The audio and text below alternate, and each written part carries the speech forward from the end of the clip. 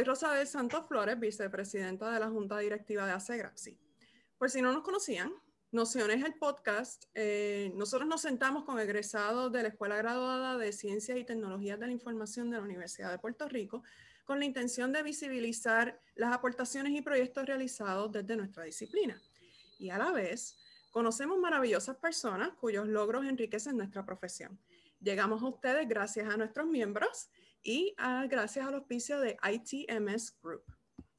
Este episodio va a ser algo diferente a lo que ya estábamos acostumbrados a ver. Usualmente hablamos de carreras, de vida, de proyectos, pero hay una experiencia primordial en la carrera de un profesional de la información que en ocasiones termina siendo ese momento definitivo para su futuro. Para algunos es un trabajo como estudiante asistente, para otros es un programa de ayudantías y para otros es un internado. Hoy tenemos con nosotros a Carlos Rafael González Rovira, clase 2020 de la EGCTI, nuestro invitado más joven hasta el momento. Eh, y mi colega en un edificio de Puerta de Tierra, él trabaja en la Biblioteca Nacional y yo estoy al lado en el Archivo General.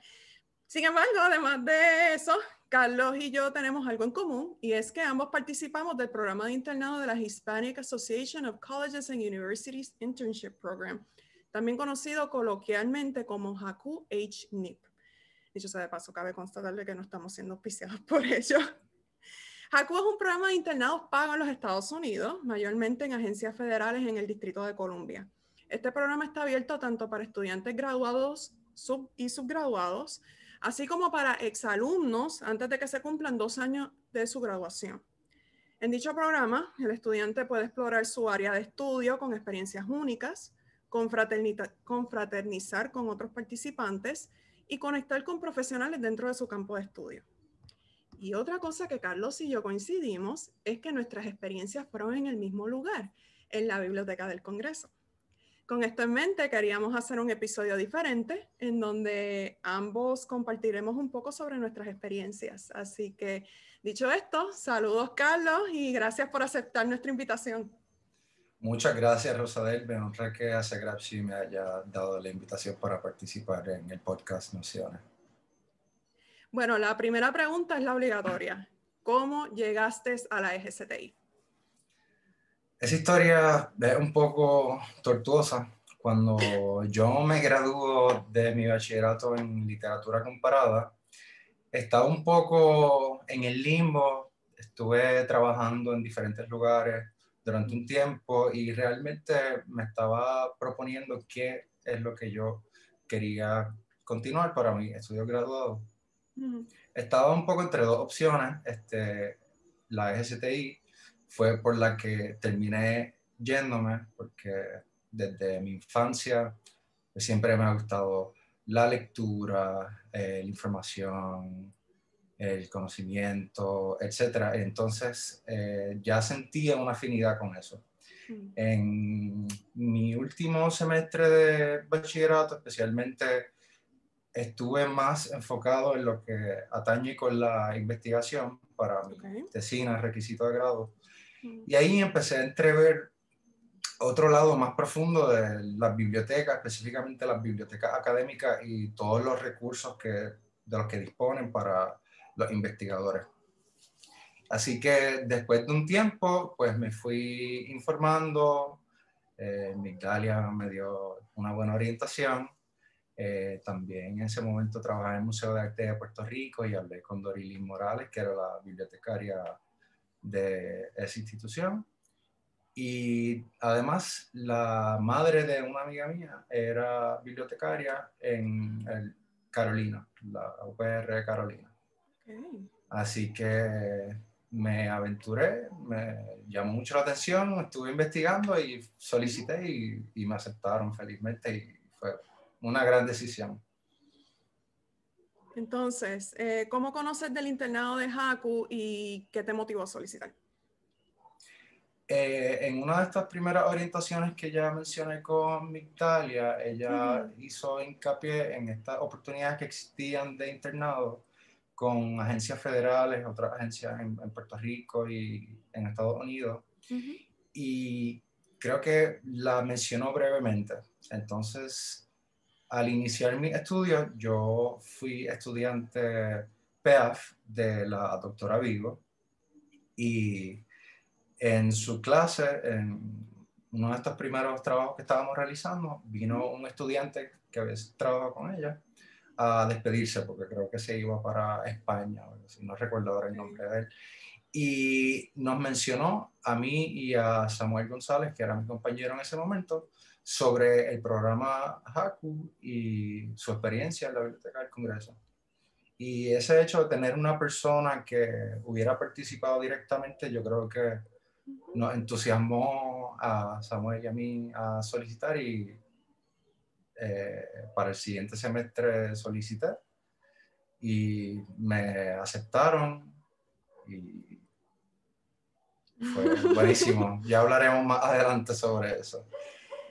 En mi caso fue, eh, mi historia, eh, nuestras historias coinciden un poquito sobre el limbo. Eh, yo estaba para ese entonces haciendo una maestría en historia que no completé. No completo porque ya a mitad del primer semestre ya me estaba dando cuenta que me gustaba la historia, pero no lo suficiente para hacer una carrera. Yo lo único que tenía en aquel entonces era un bachillerato de historia de, historia de las Américas y yo estaba en este limbo de que voy a hacer profesionalmente, o sea, también estaba, tengo que admitirlo, este, también me estaba creyendo esto de un bachillerato de humanidades no va a alcanzar nada, no, no, no, voy a hacer nada, así que yo estaba prácticamente casi con ataques de ansiedad, bueno, una cosa bastante fuerte. Eh, ahí entonces, eh, una de mis amigas del alma, Melissa Reyes, Melissa Reyes Segarra, le mando un saludo, ella me habla del programa de Jaco. Ella hace el programa aquí en Puerto Rico eh, en el verano y ella me habla de su experiencia, del programa de mentoría y de lo mucho que le ayudó por lo menos a ver cómo ella se posicionaba profesionalmente. Ella me dice, eh, viene ahora mismo la sesión de invierno. Yo te recomendaría, piénsalo bien, eh, no, hagas la, no hagas el segundo semestre en historia, haz la, haz la maestría, haz, el programa. Eh, y experimenta, mira a ver estos cuatro meses, a ver cómo te va. Y me, me, me zumbé para tirarme a Washington, D.C. Un, un invierno eh, y salió el tiro. Entonces, eh, ambos, eh, bueno, eh, algo que debía haber dicho anteriormente, HACU envía las solicitudes a las agencias gubernamentales y son las mismas agencias los que hacen los contactos por uno. Y las agencias nos llaman. ¿Cómo fue tu entrevista, Carlos? Dicho sea de paso. La mía fue por teléfono. Sí, bueno, la mía yo creo que era Viernes Santo, si no me equivoco que recibí la notificación porque el, el Haku tiene un portal donde uno solicita, somete todos los documentos necesarios y luego ellos, depende de lo que uno estudie, pues lo asignan o envían las, la información de los candidatos a distintas agencias. Entonces ahí pues van escogiendo dependiendo de las aptitudes, de los estudios que tenga y, de, y demás. Y eh, un Viernes Santo yo estaba en, mi casa y de pronto recibo eh, una llamada de la, de la profesora Vigo, de hecho, porque como yo la había colocado como referencia en, sí, en, mi carta de recomendación, se habían contactado con ella porque mi supervisora, Inés Flores, me había escrito, pero yo no la había respondido. Era un día de trabajo regular para ella, pero era bien exacto y yo no. Y entonces ella me pide que revise eh, mi correo electrónico de inmediato para que pueda entonces darle una respuesta de si estaba interesado. Y mm. yo, pues, por supuesto, contesté, lo, vi. tal vez ni, entendía completamente qué era lo, lo, que iba a hacer, pero me emocioné muchísimo y ya, ya, ya tenía todas las ganas de, de participar y, y colaborar. Y, y, luego, por teléfono, nos comunicamos para discutir a fondo eh, cuáles serían las tareas que nos asignarían y demás. y luego pues Haku se pone en contacto finalmente con uno para confirmar de que la participación. Yo recuerdo que mi entrevista fue un 22 de diciembre del 2013, estábamos súper cerca de la Navidad, me llamaron, tenía mis anotaciones en una mesa, eh, me pidieron experiencias con bases de datos y ya eh, no sé si era la premonición de que ya sabíamos a lo que esto iba a resultar, que mis papás ni siquiera esperaron a que, a que me llamaran. Ya al otro día estábamos de camino a los outlets de Barceloneta para empezar a comprar las cosas. Y no habían pasado ni 24 horas de esa entrevista. Yo estoy en Kipling mirando bulto cuando ahí veo una llamada que dice el área code de, de Washington, D.C. yo voy para afuera, lo cojo la secretaria de la oficina donde termino, ella no me dice ni felicidades, no me dice, este, quisieras participar, te escogimos. You're coming with us. Tú vienes con nosotros. y yo como que tratando de aguantar las ganas de gritar y yo, sí, ah, qué bueno, muchísimas gracias. Yo por dentro gritando por dentro. me voy para Washington. me voy para Washington en el mismo medio del invierno. Está bien, ok pero esto va a salir bien. Entonces, eh, yo, eh, eh, la Biblioteca del Congreso nos hace los contactos, entonces nos asignaron a diferentes oficinas. En mi caso, me asignan a la oficina, ya esta oficina no existe, porque pues, la biblioteca pasó por un proceso de reestructuración, pero mi oficina originalmente se llamaba The Office of Strategic Initiatives y mi oficina, la, la suboficina era Integration Management. ¿A dónde terminaste, Carlos? Eh, estoy revisando aquí uno de los, de los, papeles que tengo porque el organigrama es bastante complejo, pero oh, una, de una, de las oficinas que, que tiene la, la, biblioteca, el Library Collections and Services Group, mm. este se, se, subdivide en otras oficinas. Dentro de ella está Library Services, y dentro de Library Services está Acquisitions and Bibliographic Access, es decir, la oficina encargada de la catalogación, la descripción de recursos y la adquisición, y, desarrollo de colecciones. Mm. Y dentro de esa me fue asignada la sección de Sudamérica dentro de la división ah. eh, de African, Latin American and Western European Division, o ALAWE interesante. ¿Y qué hacías allá?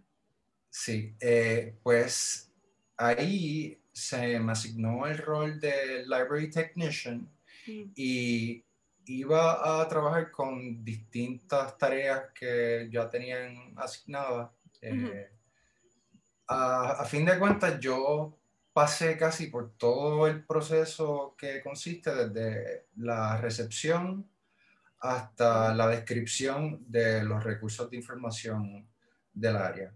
Okay. Eh, en primer lugar, se me hizo eh, cotejar registros eh, IBCR's Initial Bibliographic Cataloging Records, que estos son los registros bibliográficos que preparan los vendedores de los distintos, en este caso trabajé exclusivamente con libros, con monografía.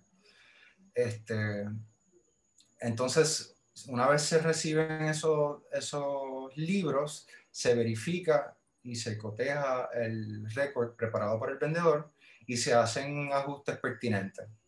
Eh, verificar que el, título esté de acuerdo a las políticas, que, que, todo esté exactamente en su lugar. Este, y básicamente ajustar, ajustar este, estos registros con las políticas regentes en la biblioteca. Este, en, esto me, me, dio entrenamiento, de hecho, eh, un compañero egresado de la INCTI, eh, Rubén Ruiz, que estaba trabajando en ese momento en la sección de Iberia Río. Mm. Básicamente se, se, se divide eh, por distintos países que tienen recursos que reciben de esos, esos lugares y están encargados de, de tramitarlos, de procesarlos.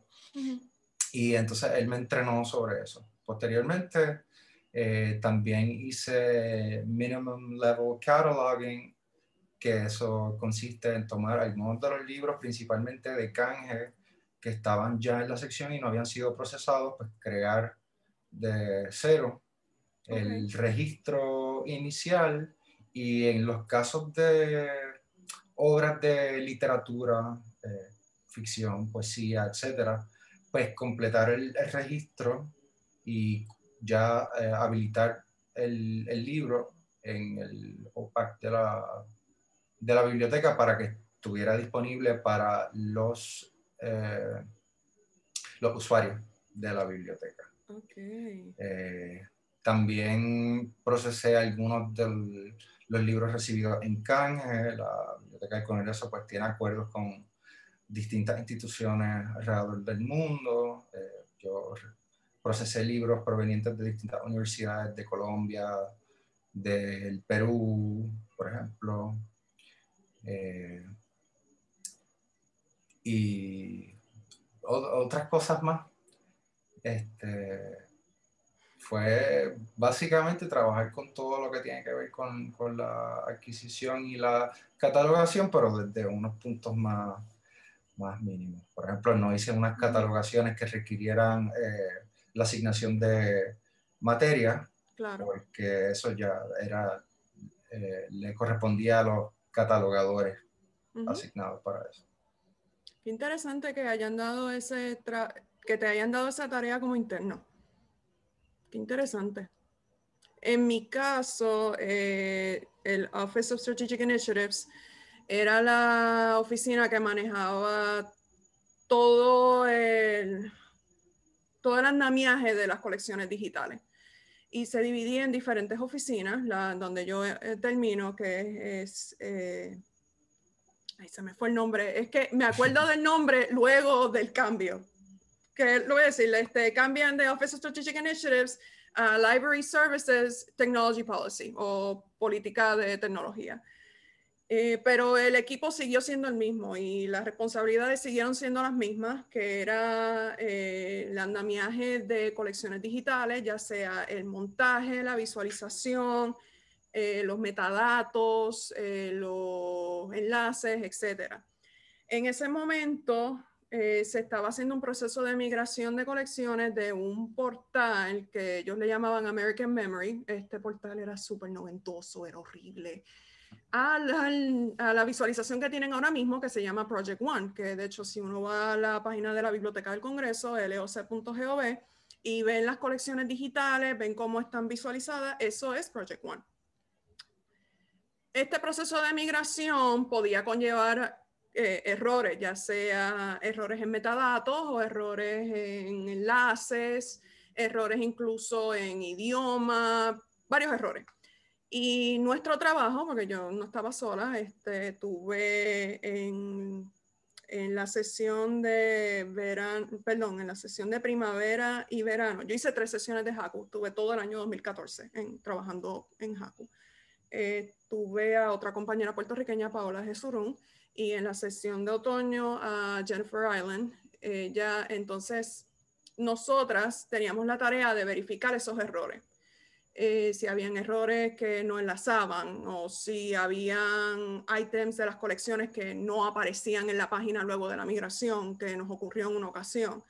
Eh, si se quería expandir un poquito más en los metadatos que no había en American Memory, pero que hubiera en Project One, como en el caso de otra colección que se llamó Frontline Diplomacy, que son entrevistas a embajadores pues esas entrevistas no tenían los metadatos de los países o de los lugares más bien donde estos embajadores sirvieron.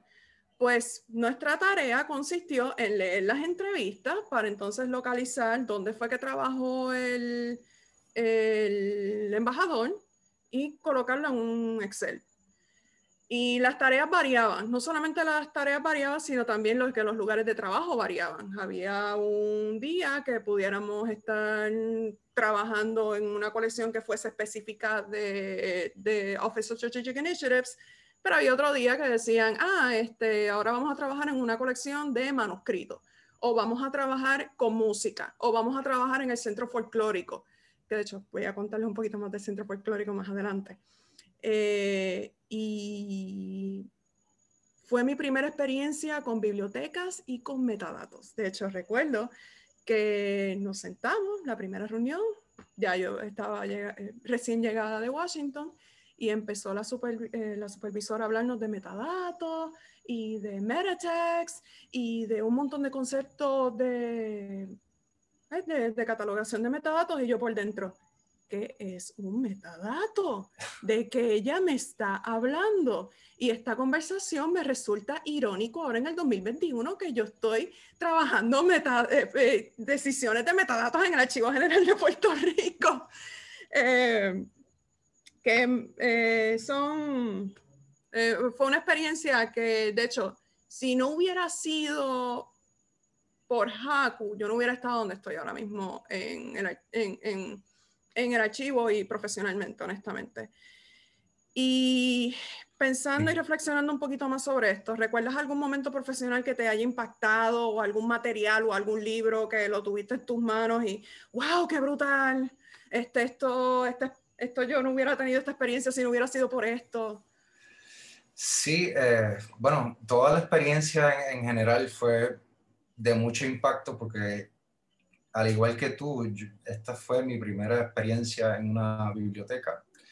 Eh, a diferencia de otros compañeros que tenemos en, la maestría, que muchos pues, llegan a trabajar como estudiantes en la biblioteca y luego de ahí llegan a descubrirlo, pues yo no, no tenía ninguna experiencia práctica, todo, todo era la, la, parte de la, de la teoría.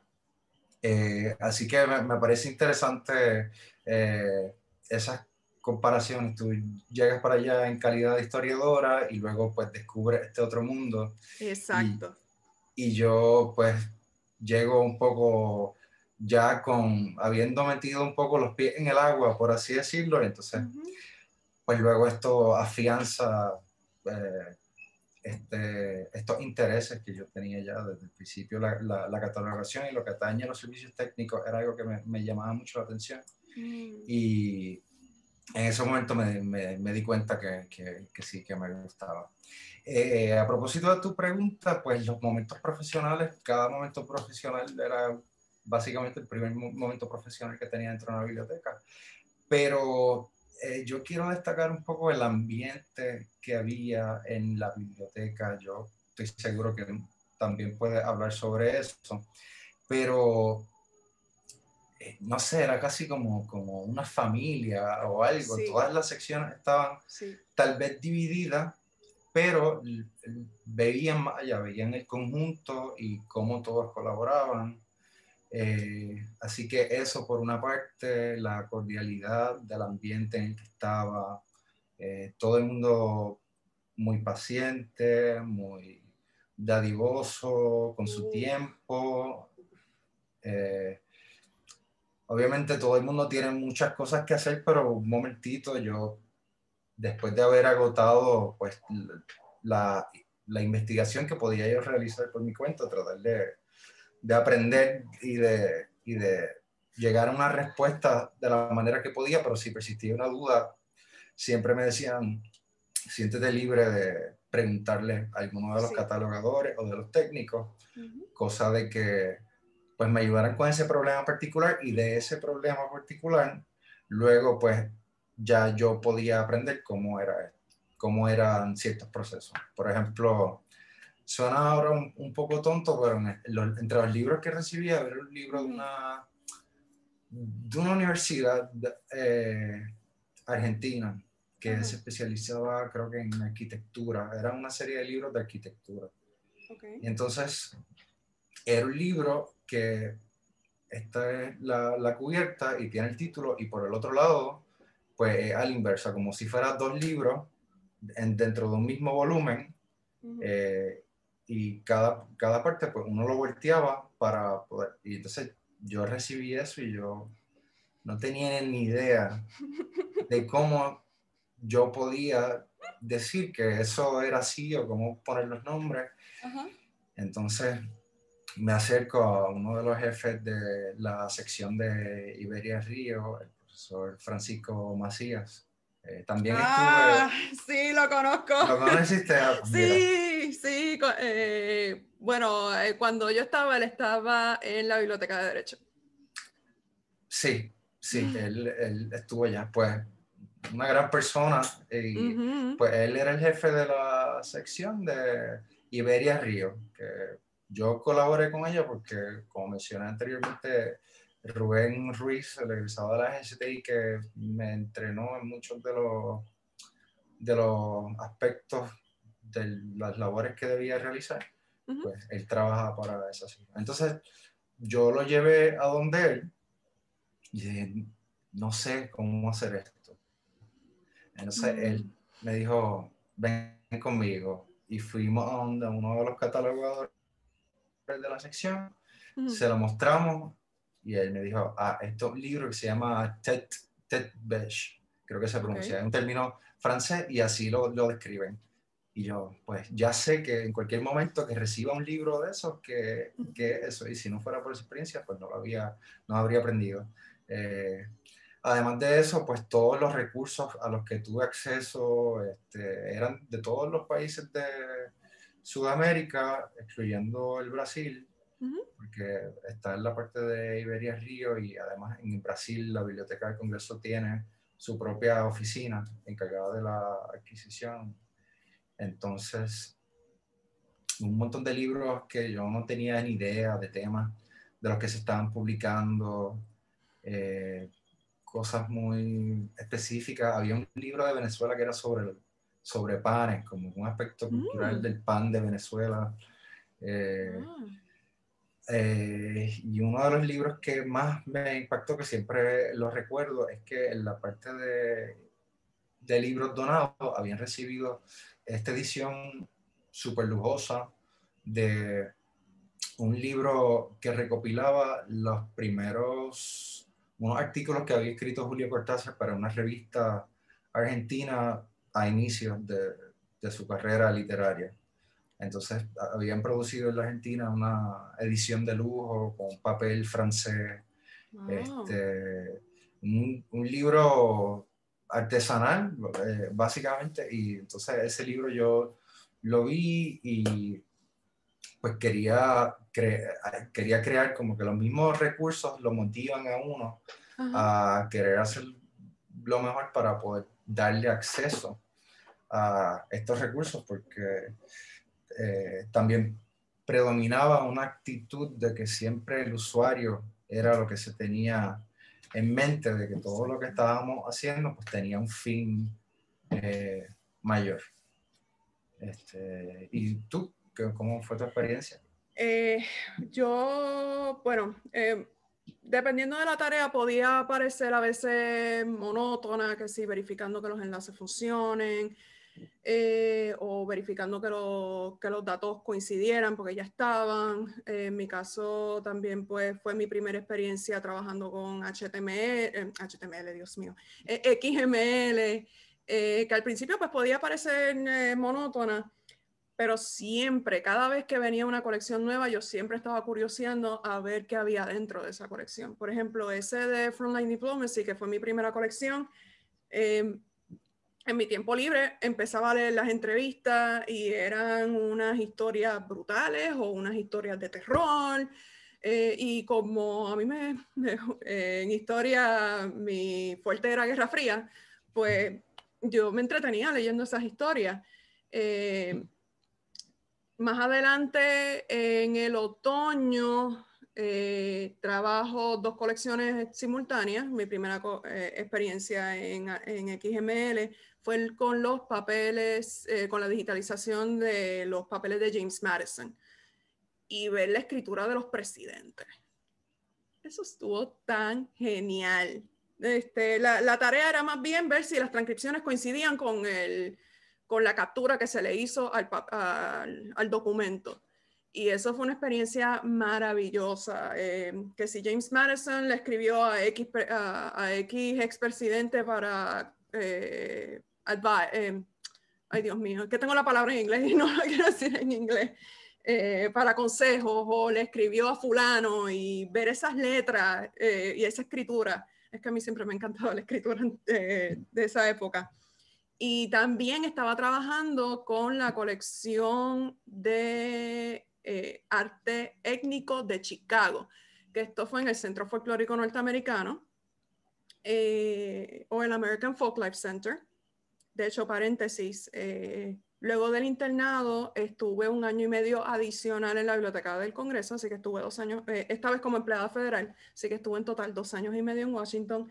Pero ese, ese proyecto en específico, el de Chicago, fue el que me dio el empleo en la biblioteca luego de Haku.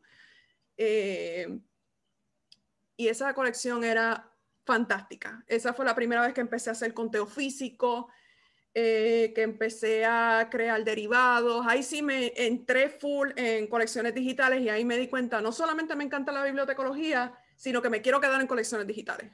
El, proceso de, digitalización, el proceso de asistencia con los metadatos, el conteo físico de las colecciones, eh, más bien pues para curiosear, para ver qué había en, esas colecciones. Y mi parte favorita con esa colección en específico era el contenido de Puerto Rico.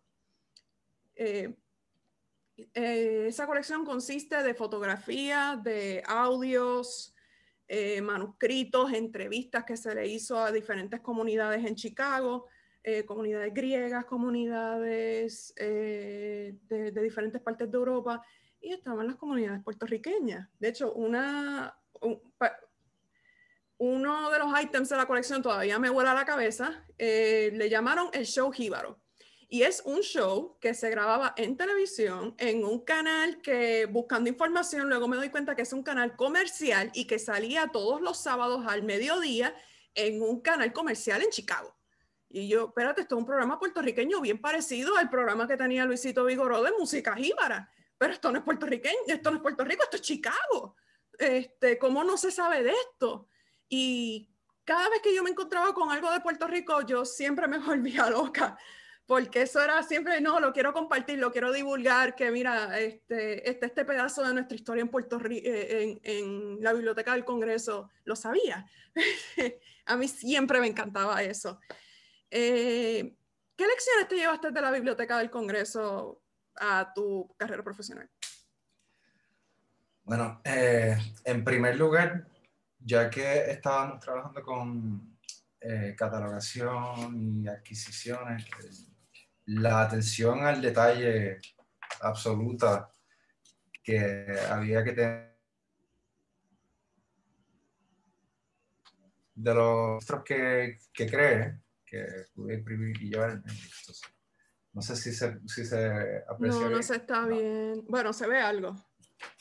Bueno, pues tengo aquí las anotaciones que me hicieron de si había puesto un punto mal, si oh. había eh, colocado una, una mayúscula o no había colocado una mayúscula dependiendo de...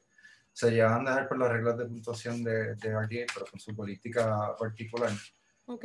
Eh, todo eh, respetando las políticas existentes y de ser sumamente puntilloso con, con todo, con, el hecho de que, de que no es poner un punto o no poner un punto, sino que que si uno pone el punto no hay acceso a ese campo, posiblemente se, se registra de manera distinta. Eh, así que por una parte fue eso y por otra parte el, el, el estar... Eh, sentirme parte de una comunidad, de que todo el mundo está haciendo un esfuerzo conjunto y que se puede aprender de, de los demás, eh, una ética de trabajo eh, rigurosa, eh, sin mencionar todas las, las cosas técnicas que, que aprendí, pude ir a una conferencia que se titulaba Mark for Non-Catalogers, era como una, un ah. crash course que le daban a, uno, este, pude aprender a usar este, el Voyager, la plataforma de este, iOS que tenían allá. Muchos conocimientos técnicos que yo no conocía, pues fui aprendiendo y de las políticas de la, de conservación de documentos, todo lo que tiene que ver con el gobierno federal, esto de los, los diferentes estamentos, todas las responsabilidades que hay que tener. Eh, muchísimas, básicamente todo lo que pude aprender en, en, los cursos lo pude poner en práctica aquí y posteriormente yo cogí la clase de eh, adquisición o desarrollo de colecciones. Pues por lo menos cuando entré a esa clase, pues ya tenía como una referencia y podía situar un poco más, eh, tener un ejemplo concreto de cómo se daba el proceso de desarrollo de colecciones en una institución particular. O sea que en la parte académica, la experiencia profesional también me, me ayudó. Yo me llevé el deseo de divulgar. Eh, bueno, yo había mencionado anteriormente que, que estaba en un limbo y que no sabía dónde ir profesionalmente en el 2013. Ya en febrero del 2014 ya yo estaba súper decidida que me encantaban las bibliotecas y que incluso quería hacer la maestría. Eh, de hecho, no contesté cómo es que yo llego a la EGCTI eh, mencioné que, que estuve dos años y medio allá, un año haciendo tres sesiones de Haku, ya en el 2015 termino full eh, como empleada federal eh, bajo contrato en, en, la biblioteca, pero ya en junio del 2015 ya estaba cayendo con homesickness, ya extrañaba mi tierra, no estaba no era que no cuadre tanto con el estilo de vida apretado de Washington, porque de por sí yo soy súper hyper, eso no cuadre, esto sí cuadre súper bien. Pero mi familia está aquí, mis, mis, amigos están aquí y solamente en ese momento yo tenía un bachillerato que no me hacía tan competitiva en una ciudad donde muchos tienen maestría o la gran mayoría tiene maestría. Eh, dando un brinco a febrero del 2016, eh, estoy almorzando, en, bueno, la, cafetería de la Biblioteca del Congreso está en el sexto piso de uno de los edificios del edificio Madison. Y ahí me encuentro con Gabriel Jiménez Barón, o Barrón. Eh, él anteriormente, anteriormente no, posteriormente estuvo trabajando en la Biblioteca de Ciencia eh, Bibliotecaria y ahora está haciendo su JD pero en ese momento él era interno de Jaco de la Biblioteca del Congreso. Y él me ve, mira tú, este, pues ya nos habíamos conocido anteriormente, este, almuerzo contigo, yo, pues súper, y ahí yo le cuento que estoy en esta encrucijada de qué hacer, este, de que necesito hacer la maestría, y él me dice, pero es que hay un programa de maestría en Puerto Rico. Y yo, ¿ah? Sí, en la Universidad de Puerto Rico. ¿Ah? En la UPI. ¿Cómo yo no sé de esto? Y el solicito, o sea, si ya tú sabes que ya tú, que, que quisieras volver, regre este, que, que, la maestría sea tu, tu pasaje de regreso. Él viene y llama a mi Italia para preguntarle por el proceso para que yo solicitara. Y él viene y me dice en el teléfono, me dice, Rosa, del último día para solicitarles hoy. Eh, ¿Tienes los ensayos? Y yo, sí. ¿Tienes las transcripciones? Yo las solicito rápido. Lo único que me falta es el examen. So, hago el revolú en, en, el mismo Maryland de solicitar, eh, de enviar los ensayos. En el mismo Maryland yo cojo el Exadep en un recinto de Ana Geméndez en un mall en Maryland, en la frontera de Washington, D.C. Ahí yo cojo el Exadep y regreso a, eh, regreso a Puerto Rico, pero, pero es por ese deseo de, de, de divulgar. Eh, había mencionado que no que es gracias a esa experiencia que tuve con Haku y posteriormente dentro completamente con la Biblioteca del Congreso, que es que estoy aquí. Y es porque esa, esa vocación me permitió que pudiera abrir la mente a muchas experiencias dentro de la biblioteca, lo que es colabora, colaboración, lo que es eh, el usuario, pensar en el usuario ya en, en este caso pues desde el modo descriptivo, de que el ítem sea recuperable ese fue mi norte y esa fue, es mi lección más grande eh, en la biblioteca. Y me lo he llevado desde la biblioteca del Congreso hasta mis años que estuve en el edificio José M. Lázaro hasta hoy. Eh, pero voy a cambiar un poquito de tema. Este, vamos a salirnos de Washington. Excelente. Mira, quería decirte que yo creo que yo creo que fue Gabriel el que el que me dijo a mí de Haku. Ah, sí. Yo creo, yo creo que sí. Gracias, Gabriel. Así pues que vamos a, salir, pues vamos a salirnos de, de 101 Independence Avenue. ¿Y qué te pareció el verano en Washington, D.C.? A mí me encantó, pero era bien caluroso. Sí, eh, era, un, yo- era un calor terrible. Yo, no, yo vengo de Puerto Rico, yo vengo del trópico. Y después, ese sol que no se ponía hasta las 8 de la noche. Anda. Y uno yes. caminando por ahí, como que, no paraba, pero eh, en cuanto a lo, a lo- a lo cultural, pues, bueno, buen- buenísimo. Todos los museos del Smithsonian, este, que uno no tiene ni tiempo para verlos todos, especialmente si estás trabajando en- dentro del horario de lunes a viernes de Ujú, 8, 9 a 5, 6, pues sí, eh, el mismo horario en que suelen operar los, los museos y luego pues sí. Los Tienen sábados. este mismo horario, que habría que entonces ir los sábados. ¿Llegaste a ir a los festivales de verano? Sí, uno del Folklife eh, Center Yes, del, del- del- yes. del- que me The gustó mucho y donde yo me pasaba mucho era en el este el Museo de Arte Asiático Mm, que primer- era uno de los pocos museos que abría hasta más tarde si no me equivoco era ese y el Museo de Historia Natural y creo que uno del el Portrait Gallery El Portrait Gallery que no queda en el National Museum. Sí, que, que, que otro lado. Este, Sí. Tomar el tren, perderse en el tren. Sí. ¡Ah! ¡Ay, ese metro de DC que es tan chévere! Con todo el sarcasmo del mundo. Este. Ay, Eh, yo, yo me pasaba en el Smithsonian de aviación, pues a mí me encanta Mm. la, la- la historia de la aviación.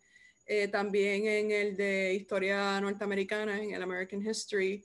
Eh, los viernes, que el, el- no era el Hirschhorn, era el Museo de Escultura, que hacían unas actividades de jazz, le llamaban, me parece que Jazz in the Garden sí, y, los, y los grupitos, no- nosotros hicimos un grupito y oíamos jazz o nos poníamos a hablar de la semana.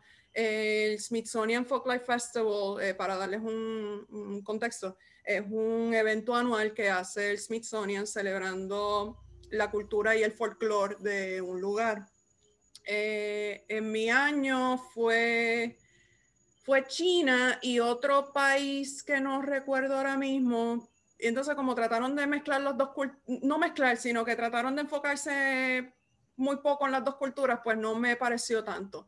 Pero el del año después, el del 2015, fue única y exclusivamente Perú. Y ese festival estuvo brutal, porque ahí, eh, bueno, habían artesanos, eh, durante la duración del festival hicieron un puente con, con ay Dios mío, con lana, eh, y, y estaba colgando por todo, el, eh, por todo el National Mall. Había música, había comida. Bueno, ese festival de Perú estuvo, estuvo fenomenal. Mi única queja era esa, que los calores eran bestiales y sin, a- sin mentir, yo estaba con migraña casi, casi todos los días. No, casi todos los días no, casi todas las semanas tenía una migraña de lo... Y, y eso que yo trataba de hidratarme, pero era muy fuerte. Ay, ¿llegaste a ir a un juego de los National? A uno, eh, sí, fui. Fui a uno eh, con algunos compañeros de... Era casi todo un grupo de Puerto Rico. eh, Sí. Y fuimos para allá al estadio. Y pues cosas que en, en Puerto Rico yo no iba a un juego de pelota desde que estaba en los expos de, de Montreal que estuvieron aquí. Ah, hace una vida atrás casi, este, pero estaba "Man, estoy en Estados Unidos, esto es el país del béisbol, pues, oh, sí. y fui para allá, llovió, llovió un montón, aplazaron el inicio por como una o dos horas, eh, estaba todo mojado, yo quería eh, comerme un hot dog, pero estar allí, después las filas eran bien largas, pero, pero fue chévere, pues, era compartir con la gente eh, y demás y, y ver el juego. estuvo, interesante. ¿Tú fuiste? Sí, sí, yo todavía soy leal a los Nats. Curly W, eh, W de Walgreen, yo todavía soy leal a ellos. Sí, yo iba, yo iba, uh, yo creo que el, segundo día que llegué, que fui, fui al, al colmado, yo veía que estaba la W esa en la puerta. En esto, yo me estaba quedando en, Alexandria. Ah, yo también me quedé en Alexandria. Eh, entonces iba para allá el, Harry Teeters o como se llamaba. Y yo, yo, mira que hay un Walgreens aquí adentro. Y no, no, es que es National, National eh, Washington Nationals. de Washington. Ese es el logo de Washington. a mí todavía me, me, me choca el diseño, pero eh, de hecho fue gracioso cuando ganaron la Serie Mundial. Ya yo estaba trabajando en el sistema de bibliotecas y el relajo que me montaron. Ah. Pues yo soy así legal a los, a los Nuts de Washington. Eh, finalmente, ahora sí, vamos a regresar a Puerto Rico el 2021. ¿Qué te gusta hacer en tu tiempo libre?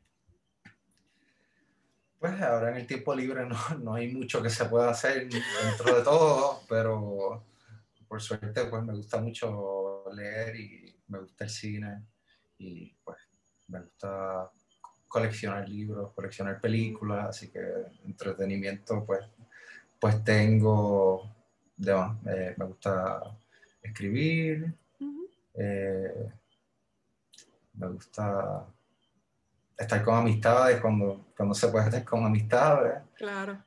Eh, ¿Y a ti? Eh, yo tengo una obsesión todavía con Animal Crossing. Me encanta el juego de Animal Crossing de Nintendo Switch. Eso es lo que yo hago en mi tiempo libre. Eh, o jugar en Nintendo Switch. O sea, me encanta jugar, me encanta jugar en Nintendo.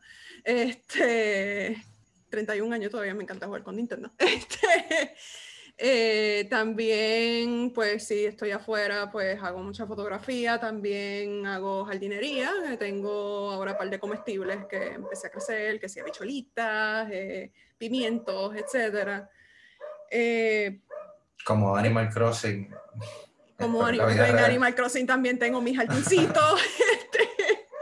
Este, pero sí, de hecho, antes de cerrar, eh, yo quisiera darle un agradecimiento a, a las personas que forjaron mis dos años y medio en la Biblioteca del Congreso, eh, específicamente a todo el staff del 2016 del American Folklife Center. De hecho, esa es la oficina en la que yo eh, me asignan. No, no, no fui. yo estaba empleada por Library Services, pero me asignan a trabajar físicamente en el American Folklife Center y ellos literalmente me recibieron como si fuese familia eh, y me ayudaron tanto, incluyendo en el proceso de mudanza. Así que no voy a mencionar nombres porque son muchos, pero sí quisiera resaltar a tres personas, a mi supervisora eh, directa, Beth, eh, Beth, y a mis otras dos supervisoras directas, Krista Maher y Anne Hogg. Thank you guys. Thank you. Así que con esto dicho, Carlos, te agradezco enormemente la conversación. gracias, gracias a ti. En Nociones quisiéramos dedicarle este episodio a nuestros estudiantes y a los futuros egresados y futuros estudiantes de la STI, ya que con este episodio quisiéramos exhortarlos a motivarse a explorar las ciencias de la información. Y a ustedes les damos las gracias por estar con nosotros. Al igual que en los pasados episodios, les exhortamos a estar pendientes a nuestras redes sociales, las cuales compartimos en las descripciones, eh, para que puedan acceder a pasados y futuros episodios de Nociones. Además, si les gustó, por favor, compártanlo. Les recordamos que Nociones el podcast se distribuye en formato video a través de Facebook y YouTube. Y ahora estamos distribuyendo en formato audio en Spotify, Apple Podcast, Google Podcast, Anchor FM o en su portal de podcast de preferencia un agradecimiento enorme a nuestro presidente José Robledo, quien se está estrenando hoy como técnico de nociones con esta entrevista. Eh, y le fue súper bien. Nuevamente, Carlos, muchísimas gracias por esta conversación y a ustedes por su apoyo. Hasta la próxima.